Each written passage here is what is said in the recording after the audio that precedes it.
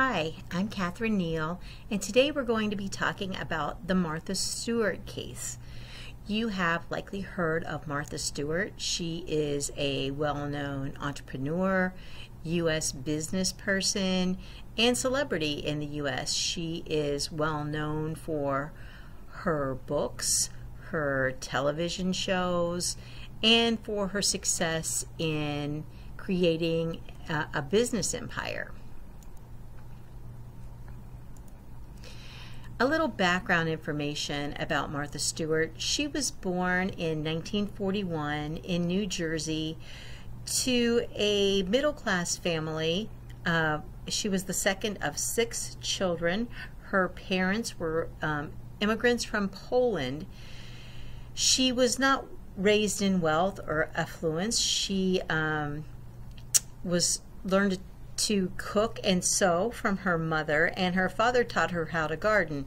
And those skills um, came in handy later when Martha Stewart developed her business empire. Her first job comes as a surprise to many people. Uh, she first began working as a model at the young age of 13. She was a, a pretty successful model. She worked as a model all throughout high school and through college and did a lot of print advertising and television commercials. Stewart was a good student. She graduated with straight A's from Nutley High School.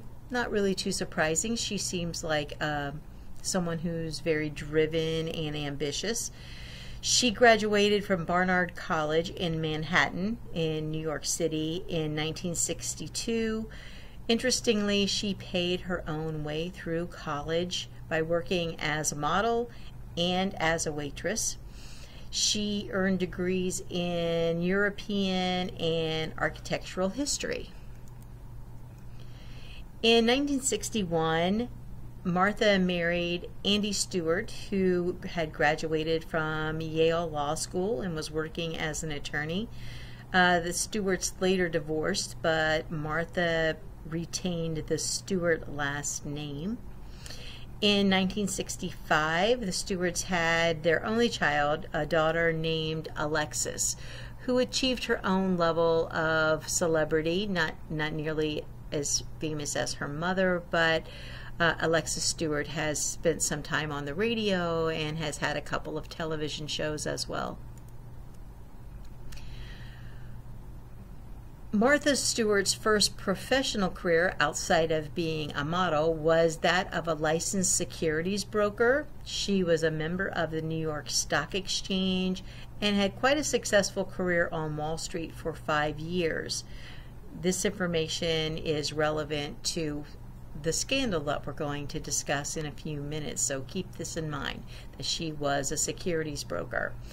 Um, her career on Wall Street ended when she and her husband moved to a suburban home in Connecticut.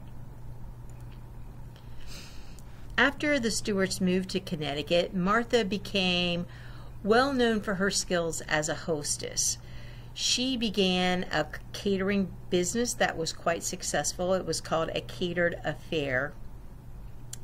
And by the 1980s, she had expanded her catering business uh, into a diversity of, of business ventures.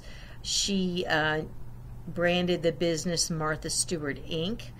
And she, the business by the 80s included books, uh, a retail store, selling prepared foods, and it included uh, the continuation of her catering business.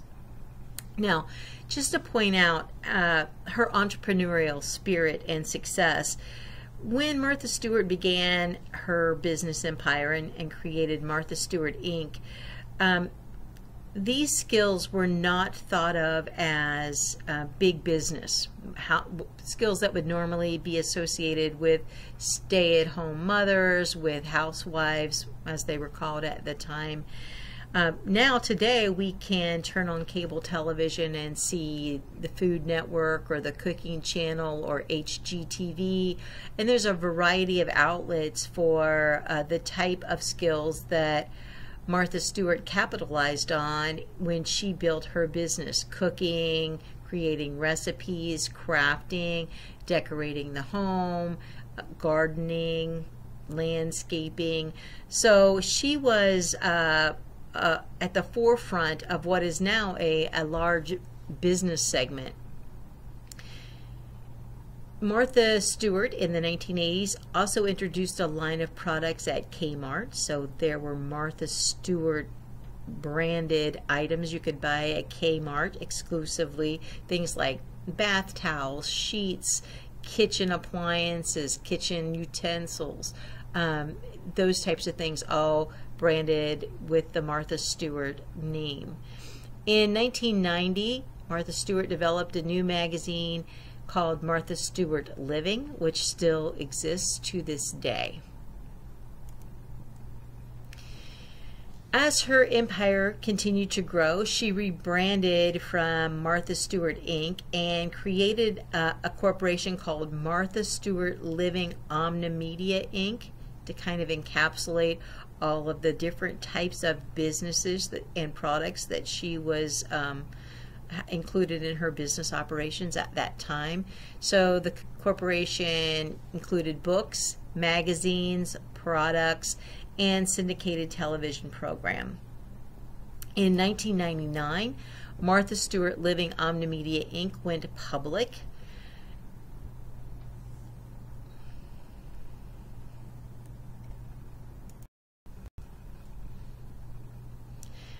So let's stop for a second and um, be reminded about what it means for a corporation to go public.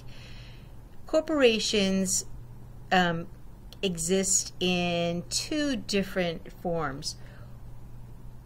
One type of corporation is called a publicly traded corporation. The other is called a closely held or closed corporation. A publicly traded corporation is a corporation which the public can buy shares of stock of that corporation. Let's stop for a second and think about what it means to be a public corporation or a publicly traded corporation. A corporation, by its very nature, is a form of business organization that issues shares of stock. And stock, each share of stock represents an, an ownership portion of the corporation. And the corporation may issue one share of stock or it could issue millions of shares of stock. And if you own any of those shares, you are a fractional owner of the corporation. Now, there are two types of corporations closely held corporations and publicly traded corporations. In closely held corporations, a limited number of people are able to own shares of stock of that corporation. I may not be allowed to own shares of stock of that corporation. You may not be allowed to own shares of stock of that corporation. Could be owned by certain family members or a limited number of people. And that could be even up into the thousands, but it, those shares of stock are not available for anyone to purchase through this, a stock exchange or over the counter. Their ownership opportunities are limited as compared to a publicly traded corporation, which is a corporation that shares sells its shares of stock to the public. So I could go and buy shares of stock, you could go buy shares of stock.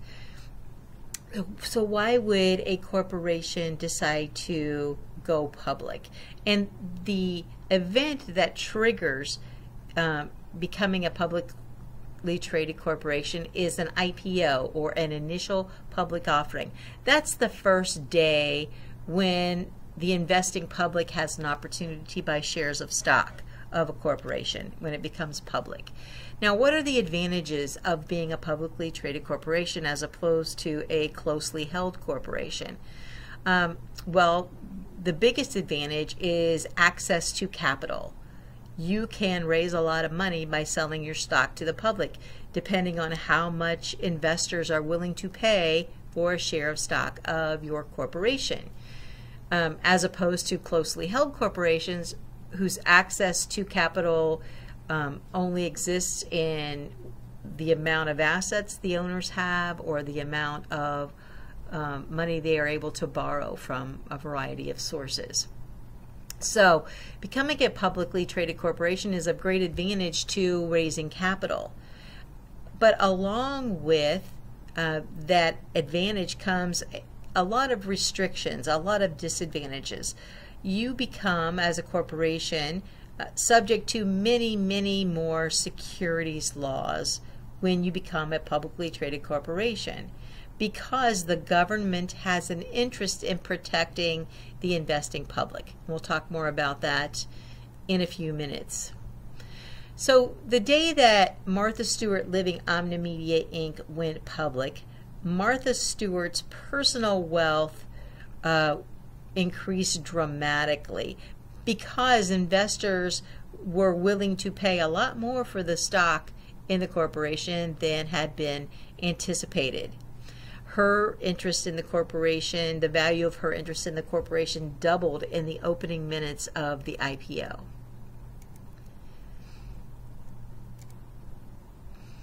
All right, so let's start talking about the facts of the scandal in which Martha Stewart was involved.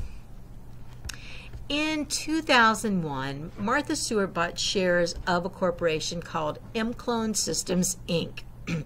ImClone was a pharmaceutical company. It was in no way connected to Martha Stewart Living Omnimedia Inc. This is a completely separate corporation. Martha Stewart was not involved in this corporation in any way other than being a shareholder. Stewart's friend, her close friend, Dr. Sam Waksal, was the CEO and the majority shareholder of ImClone Systems Inc. And that's how she became familiar with the corporation, and no doubt why. She invested and bought a relatively small number of shares of the corporation. She bought 5,000 shares. That did not make her a majority shareholder, it did not make her a major shareholder. She owned a very, very small amount of the outstanding shares of ImClone. So this was a small investment in Martha Stewart's world. And she was a small investor in the corporation. At the time, ImClone was developing an anti-cancer drug called Erbitux. This was their premier product that they were working on. It was really important to the corporation.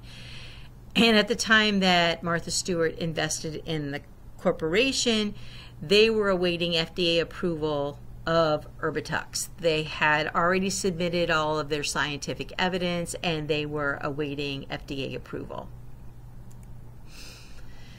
In late 2001, there was some indication that the FDA may not grant approval of Erbitux. And as you probably know, um, the FDA, the Food and Drug Administration, must approve any prescription drug in the United States.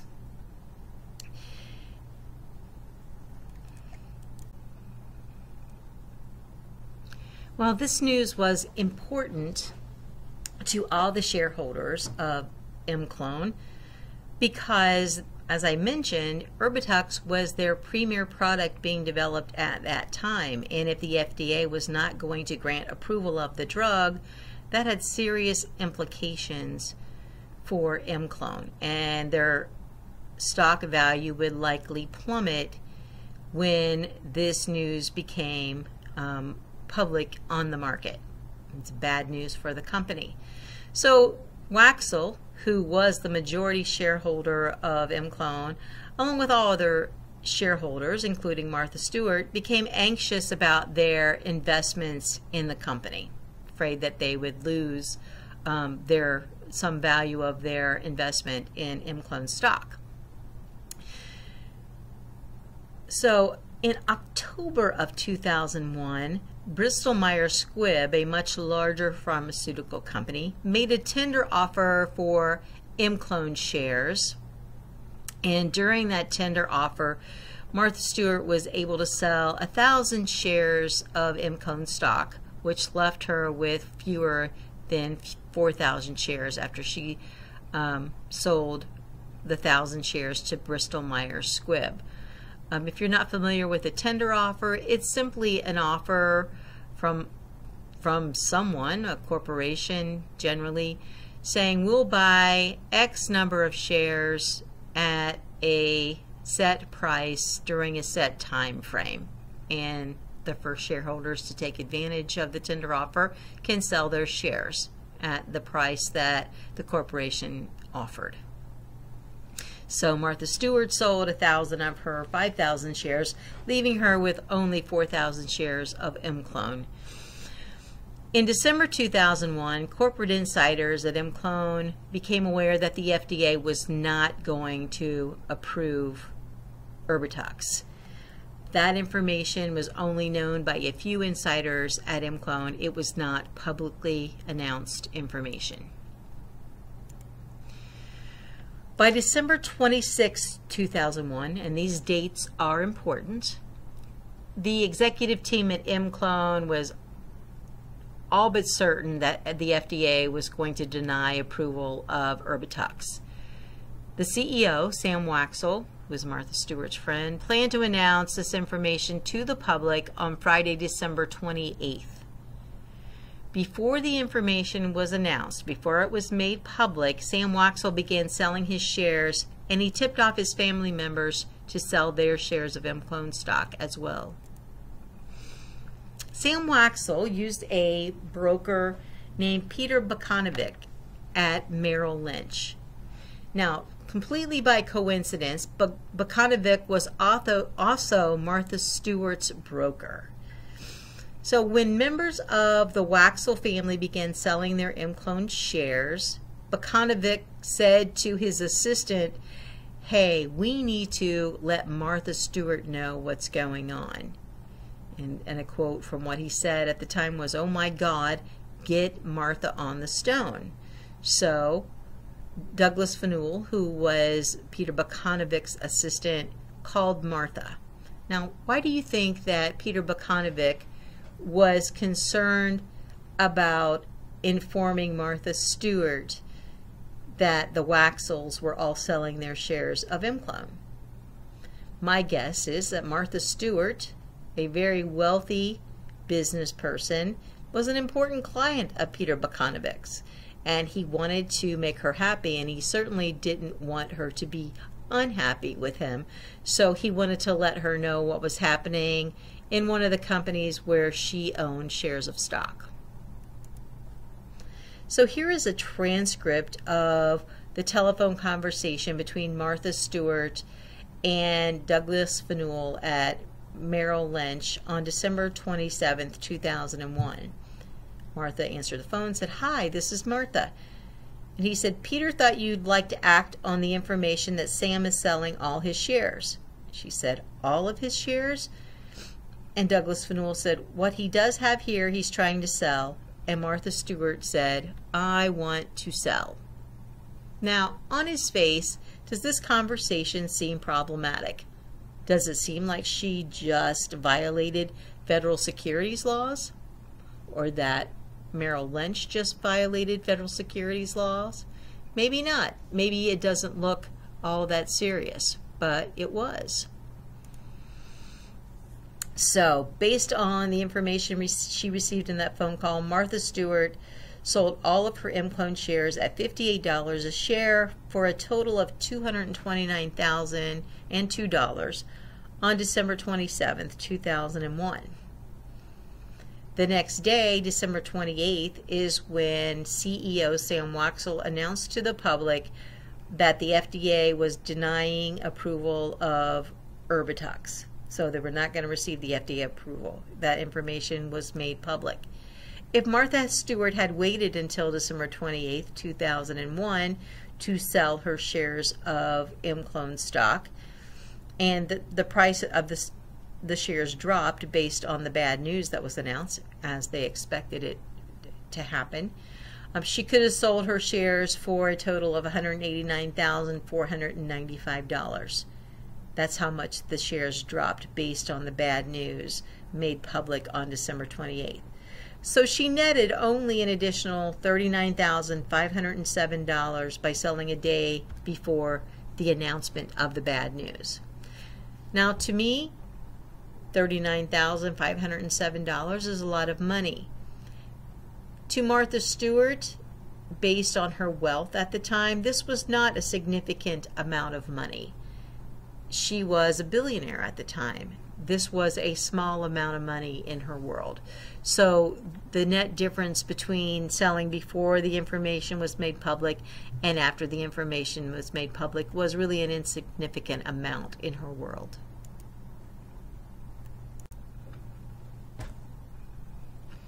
Let's take the next few minutes to watch this interview with Sam Waksal on 60 Minutes.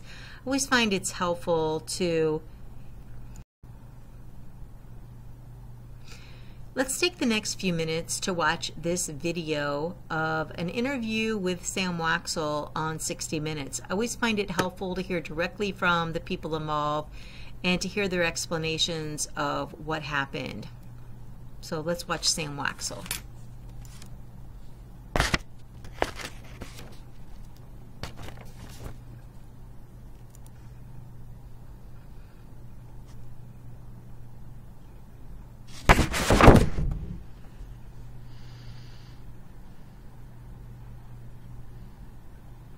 Of all the white-collar criminals who have been in the news over the past 18 months, none of them has received more attention than Dr. Sam Waksal.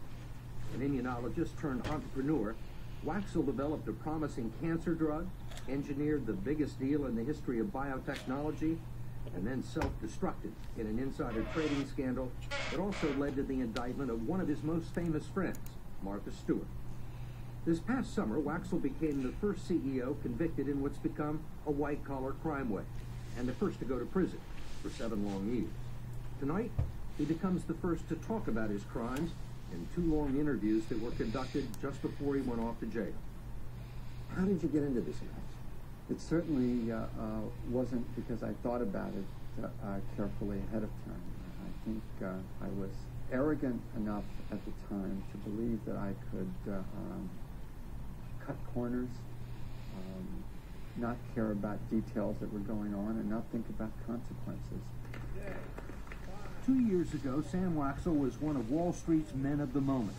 As the CEO of ImClone, he had just sold an interest in a new cancer drug called Erbitux to Bristol Myers for $2 billion. Everyone expected the drug would soon be approved by the Food and Drug Administration. But three months later, Waksal learned from a Bristol Myers executive that that wasn't going to happen. The FDA was refusing to consider the Erbitux application, not because the drug didn't work, but because the data was insufficient. New clinical trials would have to be conducted, and the price of ImClone stock was going to plummet. What happened was that Sam Waksal did something very, very stupid. He told his daughter to sell her shares, knowing that the price was about to go down. Thinking that the price was about to go down. It's a matter of public record that you tried to sell some of your own shares. 79,000 shares. I had millions of shares at the time. And transferred those shares to Aliza, thinking that if she sold them, that was okay. I wasn't doing the selling. For 79,000 shares, that's about $5 million, worth, right? That's correct. You're a corporate officer. I mean, you're supposed to know that you can't do that, right? Absolutely. Did you know that the SEC routinely checks the names of relatives and stocks traded when there's a big drop? Do I know that uh, when I think about it? Absolutely. Um, did I think about it at the time? Obviously not. I just acted irresponsibly. You must have known when you talked, didn't you? No, on the contrary. Uh, uh, I was um, silly enough to believe that because it was such a de minimis amount of my holdings, um, and because I actually believed that we could rectify the um, the situation with the FDA very quickly, I didn't think I was going to get caught at all. At the time, Sam Waksal was a very wealthy man, at least on paper. He had made $60 million in the year 2000 and more than 70 million in 2001. But he led an extravagant lifestyle, and according to friends, felt a need to surround himself with powerful, successful people, to be considered a player. His Soho townhouse was lavishly furnished with a collection of important modern art. And this is A Giacometti. It's beautiful. and his expenses approached a million dollars a month, much of it to service $50 million in debt he'd incurred buying ImClone stock on margin. So when the price of the stock went down, so did his net worth. And he told us he had some short-term capital needs. when was the first time that you knew that you were in trouble? When the SEC sent notice that they wanted to interview me, And you met with them, and I eventually met. and you were less than honest with them. I was. Another mistake. Another mistake. By early 2002, the government was investigating trades by Waksal, his father, his daughter, and one of his best friends, Martha Stewart, who sold 4,000 shares of ImClone worth $230,000 the day before the bad news broke. When you had the meeting, you said the people from the SEC and the Justice Department were there. Did they ask you about Mark? Yes. A lot? Yes. Did you get the sense that they really wanted Martha Stewart? Instead of me? No, I think they uh, liked that they had me, and I think that, that uh, I got the sense that if they could have, uh, uh, if they could have Martha, they would be unbelievably happy campers. But Waksal made it clear to the federal government that he did not give Martha Stewart inside information. Whatever happened with Martha did not happen because she spoke to the CEO of ImClone. Period. She never did. Therefore, I didn't give Martha Stewart insider information. She's been one of your best friends. She's been one of your biggest backers, one of your biggest supporters personally, closest friend. Martha called after she sold her shares to ask me what was going on at ImClone. Stock was dropping that day. There were millions of shares being sold. The rumor was out there on the street. I didn't return Martha's call. With Martha Stewart's name attached to the scandal, Waksal found himself getting all the attention he once craved. You swear that Only it was the wrong kind and at the worst possible time. On uh, the advice of counsel, I, I wish to assert my constitutional rights and respectfully decline to, uh, uh, to answer. The Justice Department called it the summer of fraud. I believe it. Enron and WorldCom had imploded. Millions of Americans had lost their life savings and were looking for blood. I was there. I was just right in front of uh, uh, their sites, and I was easy because mine wasn't complicated. There were accountants and billions of dollars involved. Real simple. What's been the worst day for you? The day I was arrested was a horrible day in my life. Did you commit insider trading? It is uh, uh, very difficult for someone who thinks about himself as someone who does good things for society to be led away uh, in handcuffs and uh, thought about as a common criminal. Did you believe you were innocent at that time? Did I know that I had uh, uh, committed an illegal act? Yeah, I knew. I tried to uh, rationalize beyond uh, uh, rationality that I hadn't, right? It was sort of uh, playing with uh, uh, linguistics, but I knew. And so did federal prosecutors.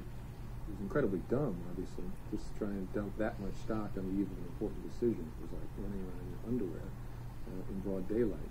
But U.S. Attorney James Comey says the insider trading was just the beginning of Waksal's problems. When his office began looking into other aspects of Waksal's professional and personal life, they came up with a whole raft of additional charges. There's that uh, great event in baseball they call the cycle. Right? You hit a single, a double, a triple, and a homer in the same game. There is no cycle in white-collar crime, but if there were, he'd have hit it. Besides insider trading, Waksal was charged with telling his father and his daughter to lie for him and directing an ImClone employee to destroy documents. He also forged the signature of a corporate officer to fraudulently obtain a bank loan, and he avoided more than a million dollars in New York State sales tax by shipping $15 million in artwork he bought to an ImClone address in New Jersey. Everybody has flaws.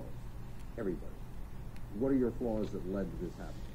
I could sit there at the same time thinking that I was the most honest CEO that ever lived, and at the same time, I could glibly do something and rationalize it because I cut a corner because I didn't think I was going to caught.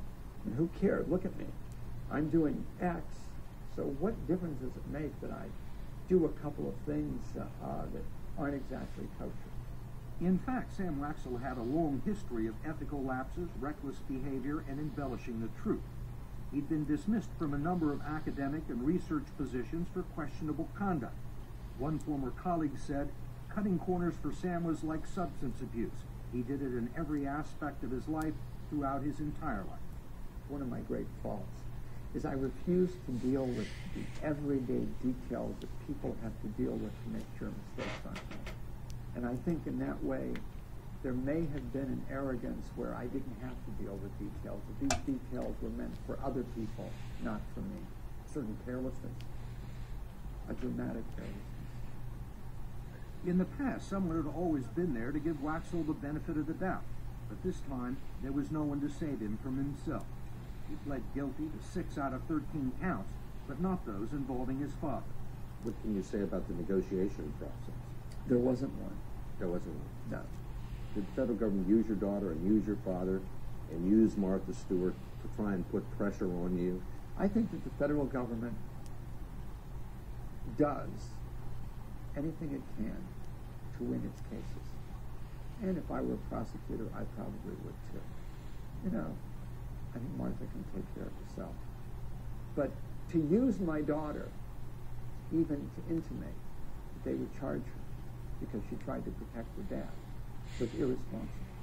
It was just wrong. Why do it? What do you gain? Who are you deterring? What, my 80-year-old father, who was a you know, hero, who never did an illegal thing in his life? It just wasn't going to, I wasn't going to uh, uh, let that happen, You took the bullet. So to speak. If he has come to the view that he is protecting his father and his daughter, that's a noble thing.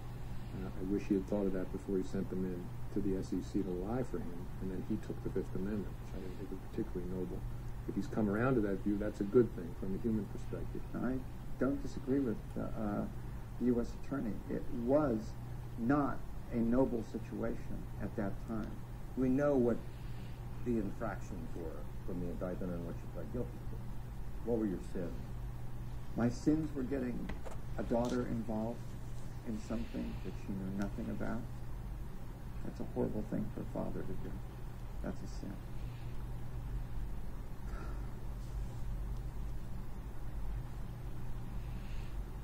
Putting my employees in a situation where the company that they work for and love was being mentioned in the same breath as Enron and WorldCom. And I look at that uh, uh, in many ways as a, a, a deplorable sin. You draw a distinction between what you did and what people at WorldCom and Enron did. Absolutely. I have a company where not one person has lost their job, where no one's 401k has been hurt. So, is it different than, than WorldCom and Enron? I think so. I wonder whether you're trying to rationalize some of this stuff. And it's, it's almost like you're saying, well, I violated the law for insider trading, I committed bank fraud, and I cheated on my sales tax, but don't call me a corporate crook. It's like, Absolutely. I know I did something that was wrong. And I know that I would have, at another point in time, gone to court, and I doubt that the U.S. Attorney, absent other situations, would have ever taken that case to court. This was done because the U.S. Attorney was trying to make an example out of me. he says, look, I'm not like the people at Enron. I'm not like some of the other people that have caused the bubble to burst and millions of people to lose trillions of dollars in the stock market. What I did was personal. What I did was my own mistake. How do you respond to that? I think part of that's fair. I mean, he is not someone who caused the collapse of WorldCom, for example. But those people are going to get a lot more jail time than he got. You know, the folks who pled guilty in the WorldCom case are looking at in upper teens to 20 years of jail without parole.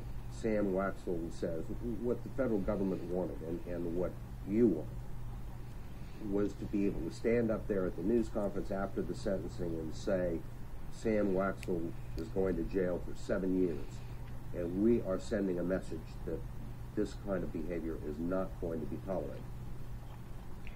True? Part of it, yeah. That's the reason I exist, is for general deterrence. I can't catch every crook. White collar crooks look at the world, they read the paper, they watch TV, and what we're hoping is that they'll picture Sam Waksal as their hand is shaking to move a column of numbers from here to here. They'll think, geez, do I want to go to the pokey for seven years?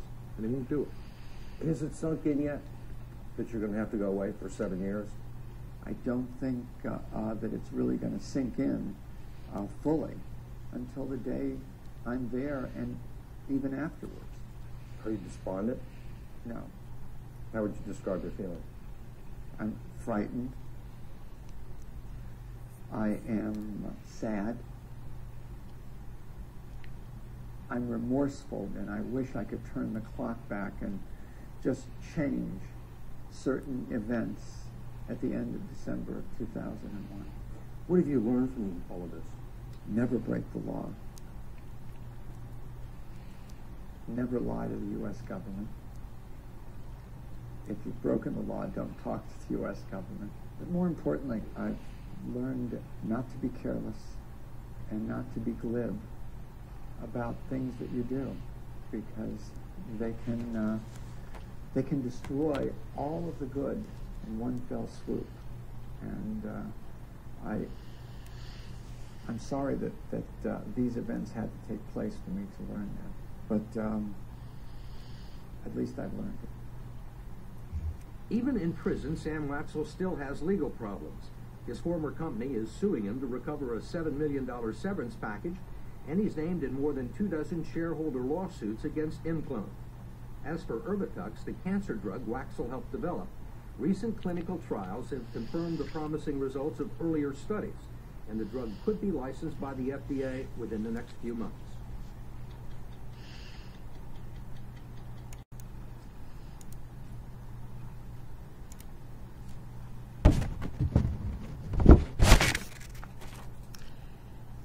So let's talk about uh, the SEC and their role in the scandal um, with Clone and Martha Stewart. The SEC, or the Securities and Exchange Commission, is the federal administrative agency charged with creating and enforcing securities laws and in regulating the securities industry. Um, the SEC was created by the Securities Exchange Act of 1934. The SEC.gov website uh, includes a variety of useful information about securities laws if you are ever in need and interested in checking that out. part of the old laws in 1933 and 1934, known as the uh, federal securities laws, the the largest pieces of legislation ever passed in the U.S. to regulate securities, the sale of securities in the United States. Um, require that investors receive financial and other significant information um, concerning securities being offered for sale to the public. These laws are in place to protect the investing public, to make sure that anyone who's going to invest in a corporation has access to accurate information about the corporation so that you can make an educated decision about whether or not you want to invest in the company. These laws also prohibit deceit, misrepresentations, and other fraud in the sale of securities. These laws also cover insider trading. Let's talk about insider trading. Insider trading may be perfectly legal. It simply means that someone who's defined legally as an insider, someone who works inside the corporation, um, who buys or sells stock of the corporation of which they are an insider. And that happens every day individuals who are legally defined as insiders own shares of stock of the corporation where they work, where they're an executive or a manager, and they may sell those shares. So that's perfectly legal. When we talk about illegal insider trading, we're talking about a practice where an insider trades shares of stock based on material non-public information that they possess that was obtained during the performance of the insider's duties at the corporation. So think about that. If you are inside of a corporation, you have access to information that other people don't have access to. And that could give you an advantage in deciding whether to buy or sell shares of stock at a particular time what the insider trading law, law insider trading laws do is try to protect everyone else to to create a fair playing field in the market for those shares of stock. Um, so what do the insider trading laws do for us? It keeps the insiders of a company who have access to information before the public does from having an unfair advantage. Insiders must wait until material, non public information is released to the public before they buy or sell shares of stock. The SEC enforces these laws and they regularly bring enforcement actions against insiders. So, who's considered an insider? Could be an employee, an officer, director of a corporation, anyone who has access to material non-public information that may affect the value of the corporation's stock. That's what the meaning of material is in this context, that the information may affect the value of the corporation's stock. In addition to insiders, there is other liability tied to insider trading laws. Uh, tipper and tippee liability. A tipper is an insider who gives a tip about non-public information to an outsider who may trade stock based on the non-public information. So that could be an employee who has access to non-public material information who calls their brother-in-law and says, hey, you might want to sell all your shares of ABC Corporation this week because something bad's about to happen, or you may want to buy shares of stock of ABC Corporation because something good's about to happen. In that case, the insider is also known as a tipper, and that is the legal term. And the brother-in-law who received the information is considered a tippee.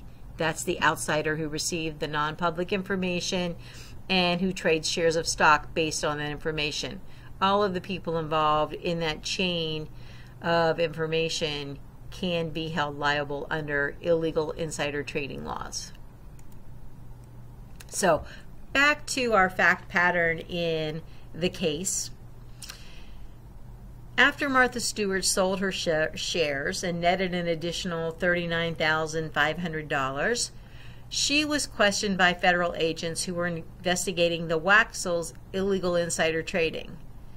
So my guess is that the SEC started looking at um, big trades by corporate executives at ImClone, most um, notably Sam Waksal's trades uh, immediately preceding the announcement of bad news by the corporation. And they look at the list of everyone who sold shares of stock immediately preceding the announcement of that bad news. And they see, of course, Sam Waksal's name and some of his family members' names. And they also see Martha Stewart's name. And they think, wow, you think that's the Martha Stewart? And they brought her in to question her about her trade. Now, my guess is the initial questioning, they were thinking that she would be a witness against Sam Waksal. They were guessing that she received information, non-public material information from Sam Waksal prior to it being announced to the public, and that she made her trades based on that information that she received from Sam Waksal. And they wanted her to testify against him. That's probably why she was initially questioned. But uh, instead of being a cooperative witness and being forthcoming about what happened and why she traded, uh, Martha Stewart was uh, not cooperative.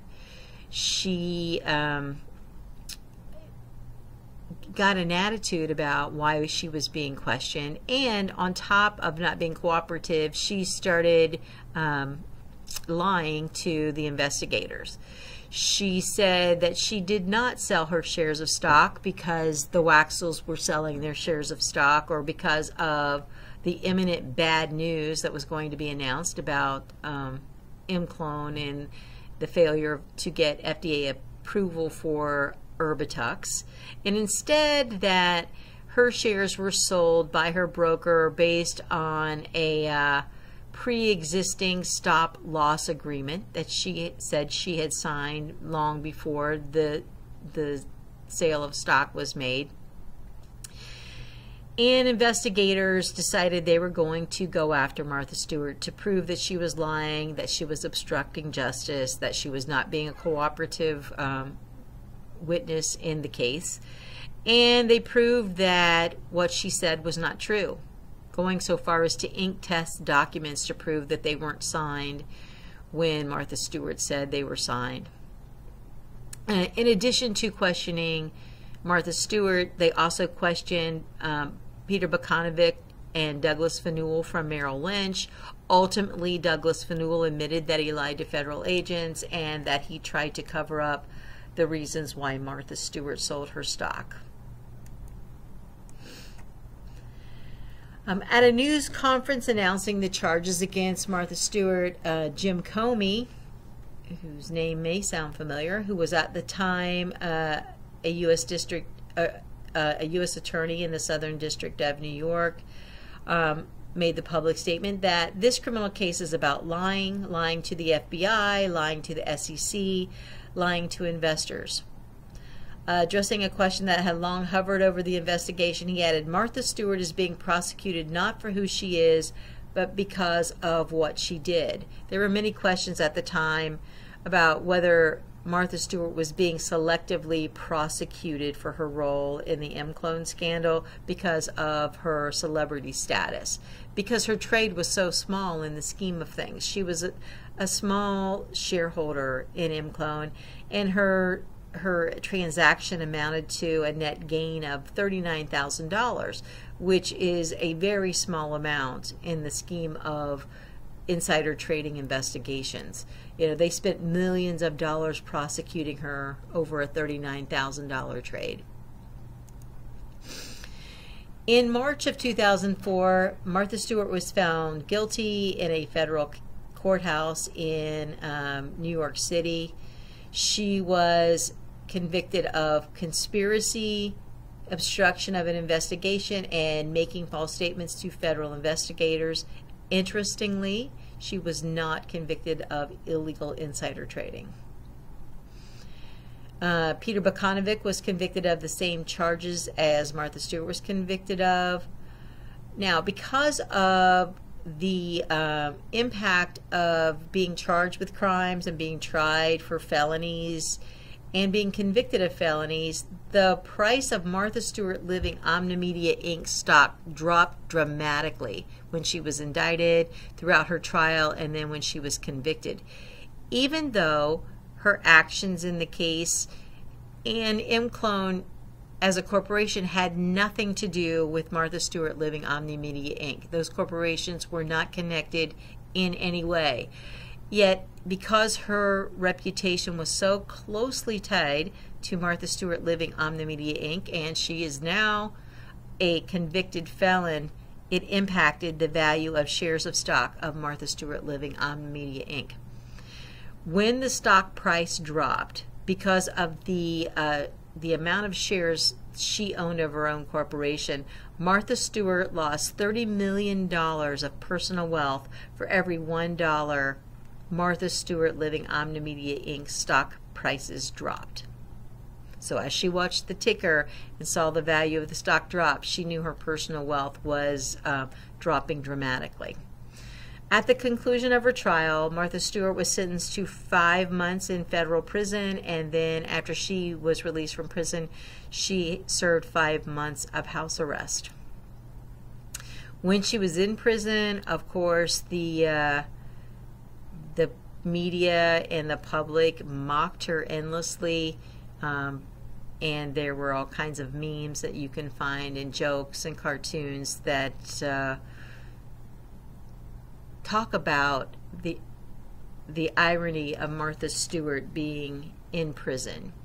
Here's a short interview with Martha Stewart uh, talking about her experience of being in prison.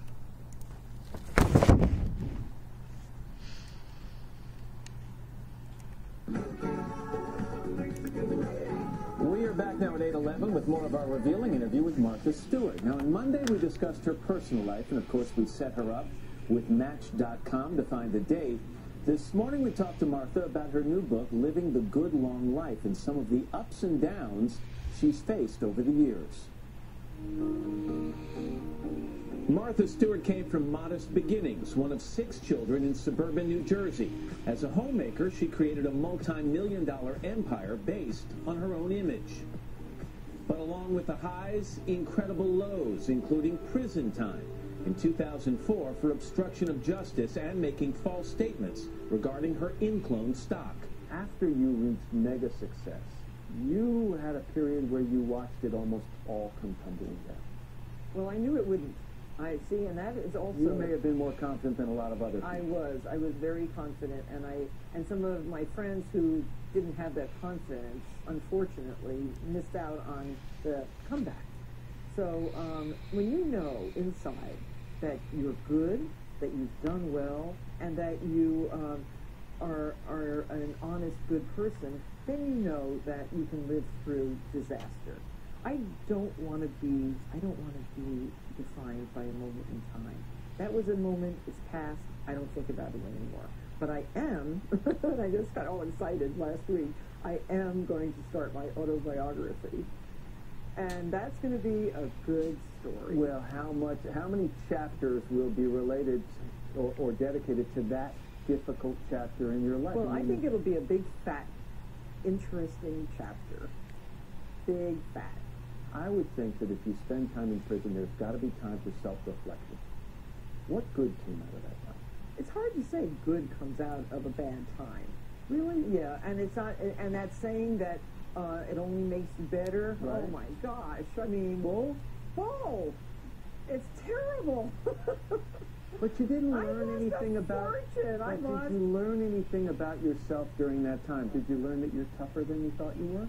no, I'm a tough person from start. I've always been a tough person. Tough meaning I can survive. I'm a survivor.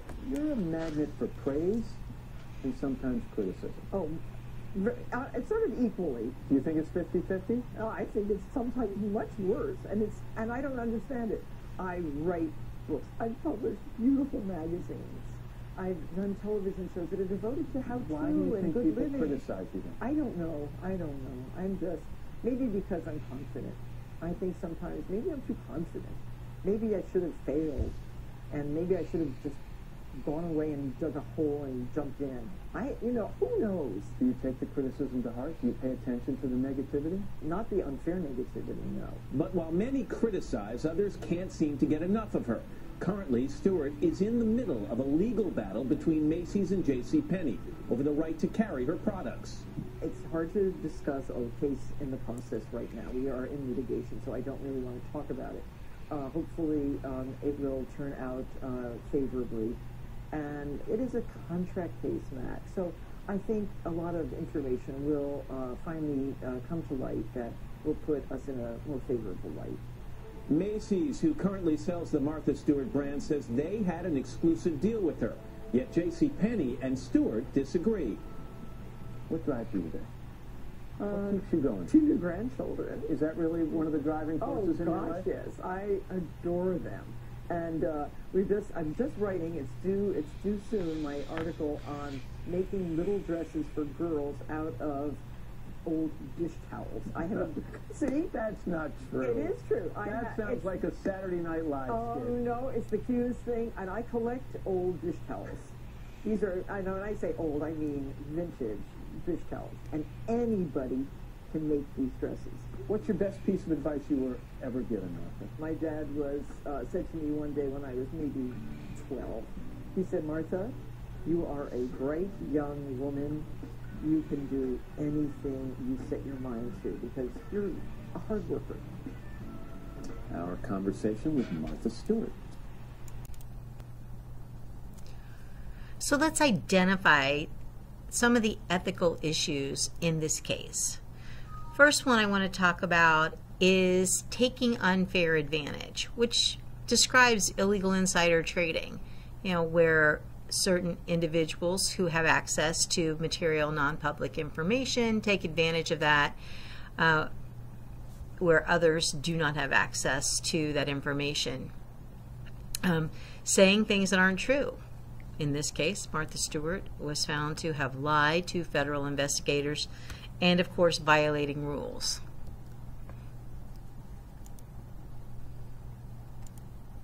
The legal issues in this case illegal insider trading, obstruction of an investigation, conspiracy, and lying to federal investigators. And on the flip, flip side here, there were questions of selective enforcement and questions about whether Martha Stewart was prosecuted only because of her wealth and status.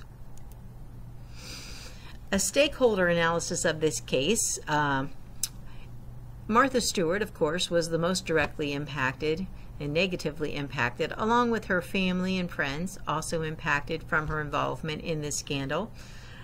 Merrill Lynch as an organization, along with Peter Bacanovic and Douglas Faneuil, were directly impacted. And beyond them, the clients of Merrill Lynch were negatively impacted, and employees of Merrill Lynch were negatively impacted. ImClone shareholders were impacted by this scandal. Shareholders of Martha Stewart Living Omnimedia Inc. were also impacted, as well as employees and business partners of the corporation, and really any entity tied to Martha Stewart, to her name, to her reputation, all negatively impacted from her involvement in this scandal. So, doing a quick ethical analysis of this case, um, what went wrong? What caused Martha Stewart to make um, bad decisions that landed her in the middle of a scandal in which she should have had no involvement? Uh, the first one, ethical egoism, where she was making self interested decisions, even for a very small amount of money in her world, in considering the amount of wealth that she had at the time. She was making decisions that saved her just a little bit of extra money. Um, in a cost benefit analysis of this situation, um, she was prosecuted, went to prison, and lost billions of dollars for a net gain of $39,507. So, um, certainly in retrospect, it's easy to see where the decision to sell her stock before information was released to the public was an incredibly bad decision. And if we use the test of the Warren Buffett front page of the newspaper test, analyzing whether or not we should do something if it, that information were to land on the front page of the newspaper, well, if Martha Stewart had thought about that prior to uh, selling her shares of stock, she certainly would have uh, reconsidered. Something else I want to point out here. Um, early on in this presentation, we talked about the fact that Martha Stewart was a stockbroker and worked on Wall Street for five years. She was familiar with insider trading laws. She knew what she was doing was wrong, um, which should have caused her to pause when she was asked whether or not she wanted to sell her shares of stock in December of 2001. But she didn't. So, what went wrong here? Martha Stewart made a mistake. She exercised poor judgment and, at least questionably, violated securities law by selling her stock based on the receipt of non public material information. And she compounded the mistake by lying about it during her interviews with federal investigators. And those are the crimes for which she uh, ended up going to prison. And greed and hubris. Here, a wealthy person decided to be uncooperative in a federal investigation. She made a decision to sell stock um, based on non-public material information, even if it just amounted to a, a little bit of money for her. Um, and perhaps she acted um, as if she was too important to be honest and truthful when questioned by federal investigators. If she had been a cooperative witness, things might have gone quite differently for her. So, recommendations. How, what are we supposed to learn from this case? How can we avoid making similar mistakes to those that Martha Stewart made in, um, in her involvement with the ImClone scandal? Number one, know the laws and regulations to which you are subject. That's your responsibility to know the laws, and they change regularly. So it is your professional responsibility to always know what your what laws you're you are supposed to be complying with.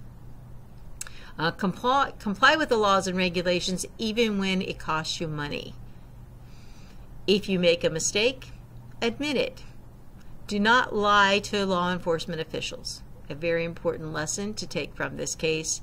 And finally, recognize that celebrity comes with both advantages and disadvantages. Uh, the rest of the story here is that Martha Stewart served her prison time. She um, has survived far better than many executives who become convicted felons. Her life has gone on successfully. She's continued to write and publish books, to be, be uh, to have successful television shows. So she's survived far better than most people who get caught in large corporate scandals. And that's the Martha Stewart case.